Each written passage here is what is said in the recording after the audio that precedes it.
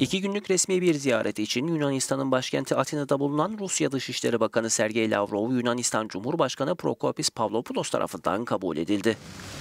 Enerji, Orta Doğu, Suriye, Kuzey Afrika ve mülteci meselelerinin konuşulduğu görüşmenin ardından açıklama yapan Rusya Dışişleri Bakanı isim vermeden Washington'a sert çıkıştı.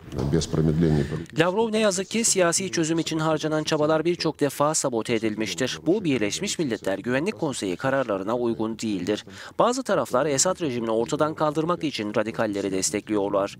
Eğer alınan o kararlar dürüst bir şekilde uygulansa Suriye'deki durum çoktan ilerleme kaydetmiş olurdu. Biz bundan eminiz şeklinde konuştu. Семи. То. Rusya Dışişleri Bakanı ayrıca Amerika Birleşik Devletleri'ne çağrıda bulunarak Suriye'de savaşan ılımlı muhaliflerle radikal savaşçıları birbirinden ayırmasını istedi. Lavrov daha sonra Başbakan Alexis Tsipras'la bir araya geldi.